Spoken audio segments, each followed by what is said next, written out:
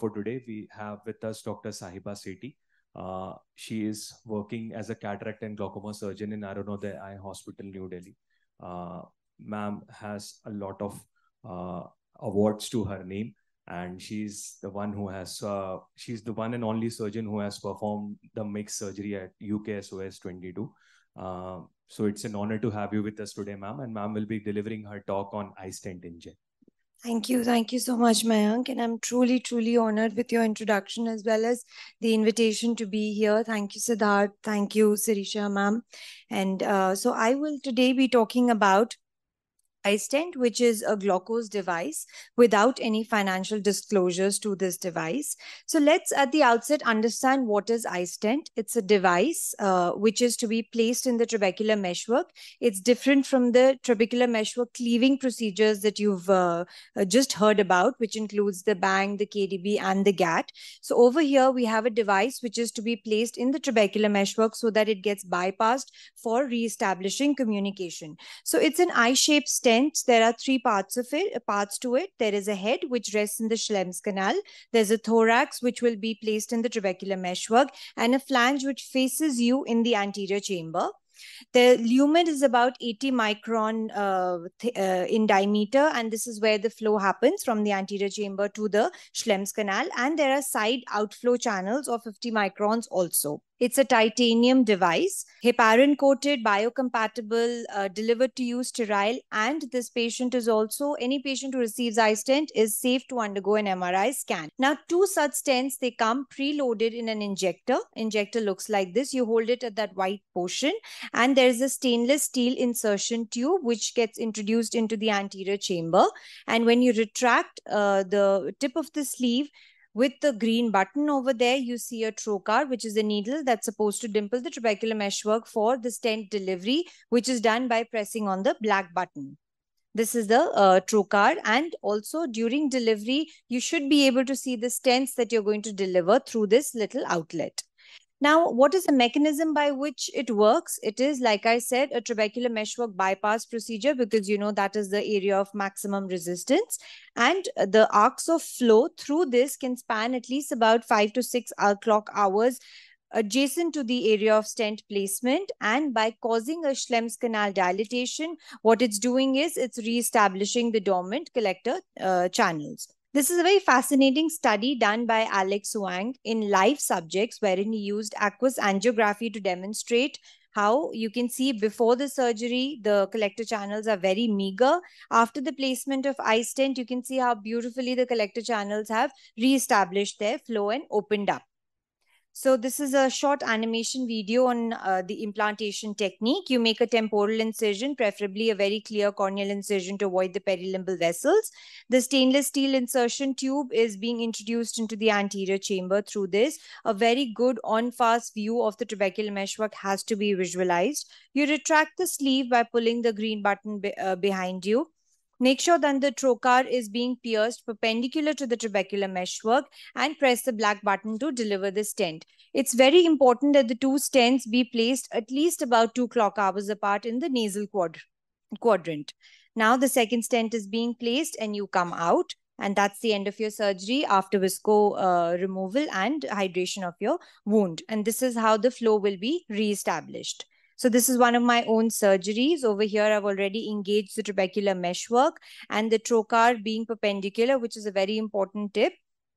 And once you press the black button, the stent gets delivered. Blood reflux is uh, a good sign that it's in the right place. You wash it off and you'll be able to see a beautifully placed stent over there right at the level of the trabecular meshwork. This is where understanding of the angle structures also comes, comes in very handy so that you know it's in the right place. This is a second stent implantation. Now this one is uh, at least about three clock hours apart, apart and this is how it looks post-operatively. So now one may wonder how such tiny stents can actually reestablish flow to an extent that you would want. So that question gets answered by this very interesting study done by Kevin Gillmann et al. Now what he's done is that he's taken serial ASOCT scans, one on top of the iStent, then uh, there are two scans uh, adjacent to it and another scan which is at the temporal limbus. What they found was that at the end of one year, there was a 75% increase in the Schlemm's canal dilatation adjacent to the stents. And also there was a 46% increase in the Schlemm's canal dilatation in the opposite quadrant, which is the temporal quadrant. So what this means is that iStents have been able to create a circumferential dilatation of the Schlemm's canal. And all this while maintaining the integrity of the trabecular meshwork as well. So where it's indicated, we all know we've uh, heard enough about the place of MIGS in our surgical armamentarium. But where iStent particularly will be indicated will be early glaucomas, let's say ocular hypertensives, pre-perimetric glaucomas, mild to moderate open angle glaucomas. It has been tried with success in secondary glaucomas, also pseudoexfoliation pigmentary glaucoma. So I think just to make a long story short, the indications for the type of glaucoma stay the same, but it's only at uh, where the stage of glaucoma is concerned, where these different devices and the choice of MIGS procedures differ. So when I say iStent is to be applied in mild to moderate glaucoma, I strictly mean the staging be done only on the basis of uh, your uh, visual field findings and not on the basis of how high the IOP is or how uh, many AGMs the patient is on. More, uh, more so also patients who are having difficulty in taking their medications. And also it's very important to know the target IOP in your patient should not be more than uh, mid to high teens with a stent placement. And so MIGS basically has five criteria that you need to, uh, that a procedure needs to meet before being called MIGS. And According to me, iStent is the most truly minimally invasive glaucoma surgery because 98% of your trabecular meshwork is left intact. All this while also avoiding any pass or endothelial cell loss. But it's contraindicated in any uh, situation where you have obstructed angles, anomalous angles, not investigated in the use of complicated cataract surgery. Like Dr. Sunita just showed how she had a PCR, but in that case, maybe KDB is probably a better idea than an iStent because it has not been investigated in such a setting and any other form of angle closure glaucoma, neovascular glaucoma or episcleral venous pressure uh, raised. And uh, this is one of my own uh, review articles, which got published earlier this year. And these tables have been taken from there. So what this says is that if you combine iStent Inject with phaco, you are to see about uh, 17 to 39% drop in intraocular pressure and at least about 0 to 2 medication drop. Interestingly, in standalone iStent cases, there was a bigger drop in eye pressure, about 35 to 48, and med uh, medication reduction of 1 to 2. I would only like to highlight this one particular study, which has the longest follow up and uh, by Hengerer et al. And recently in the ASCRS, they also um, gave away their seven year data of these 125 patients. And they said they had consistent 40% drop in intraocular pressure and 60% drop in medication in all those patients that they started off seven years back. Moreover, you also get ocular surface improvements with any form of MIGS because you're taking them off medications or reducing the burden. Another interesting aspect of iStent Inject is that in spite of being an implant, it is refractively neutral. So there are no post-op surprises. It can be safely be used even with toric IOLs. This is uh, my own data of, uh, I started iStents about two years ago and I have follow-up of the, this cohort of patients over six months. And what I see is that there is when you combine it with phaco, of course, there is a 36% drop in intraocular pressure and a consistent 50% drop in medication. That means if your patient was on two AGMs is now down to one. If they were on one, they're down to zero yes uh, it does have complications although it has an excellent safety profile. I think the number of complications are the least with iStent you will most likely see intraoperative hyphema in uh, 100% of the cases because this is a desirable endpoint. Postoperative hyphema is limited gonioscopically there is never an anterior chamber hyphema. You can see the usual postoperative spikes iritis uh, inflammation all of that. Sometimes yes you do also have failure to implant the second which is reported in literature, and many a times, about uh, 0.6 to 7% of the times, eyes have also required additional glaucoma surgeries to control their IOP. So what are the newer stents that we can expect in the pipeline now? Uh, in a few months, you will have iStent Inject W, which is basically exactly the same as iStent Inject. The only difference is in the size of the flange. The flange is the portion which faces the anterior chamber. Why this has been made bigger is just to optimize stent visualization because these stents are so tiny. When surgeons are placing it they're probably finding it a little difficult to see where it is if it's at the right level or not. Is it over implanted under implanted so by increasing the size of the flange we're making sure that the visibility is uh, superior than what it is today.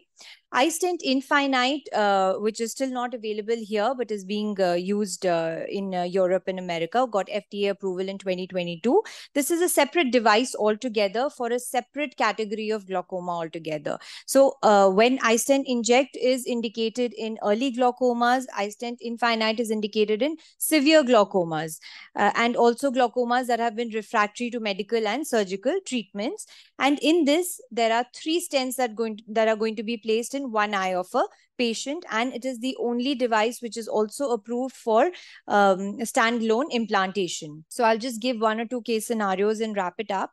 So this is a gynecologist uh, by profession who uh, happened to be diagnosed with corona-induced uveitis, became a steroid responder, underwent cataract and trabeculectomy about a year back elsewhere and AGMs uh, were started within five months. The only AGM that suited her was the uh, preservative-free tafluprost, which unfortunately also got uh, uh, taken away from the market. She has also, following that, undergone temporal SLT three months. So basically, everything that you can think of, she has undergone. Yet, when she presented to me, she had an IOP of about 39 millimeters of mercury because she couldn't tolerate any AGMs.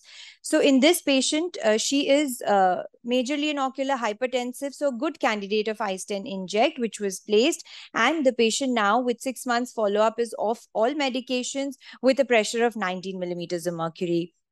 This is another young patient who had undergone TRAB for an advanced glaucoma.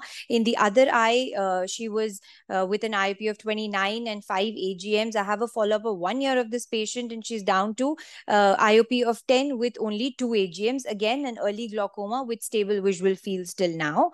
This is another traumatic cataract wherein traumatic uh, glaucoma, wherein you know that the problem over here is that there is debris on the trabecular meshwork. So bypassing it makes sense. Now, this patient had an IOP of 55 and uh, now is down to and on maximum uh, medications now is down to 15 and AGMs are also down from 5 to 4 and minus the oral uh, anti-glaucoma medications. So just like that, multiple patients have benefited from uh, iStent provided you use them in the right context. So the last few slides would be just a few learning curve challenges that you might uh, face while performing this surgery. One is under implantation, which means that the stent has not been delivered. It's left loose. This happens uh, usually when the the trocar has not been dimpled adequately. So even if this happens, there's nothing to fret. You can just rethread the uh, stent with the trocar and go change your location and shoot the iStent again a trocar bias can happen, which means that when you're not perpendicular to the trabecular meshwork, the trocar may get shifted to the light, right or left, and the stent cannot get delivered. So this usually happens when you have sharp angles. So make sure that your hand is perpendicular to the trabecular meshwork so that the trocar is well centered and then shoot the iStent. Another problem you can have is of over implantation. Now, this happens when you dimple too much. Over dimpling uh, can be visible by corneal folds or temporarily you losing the view of the uh, angle.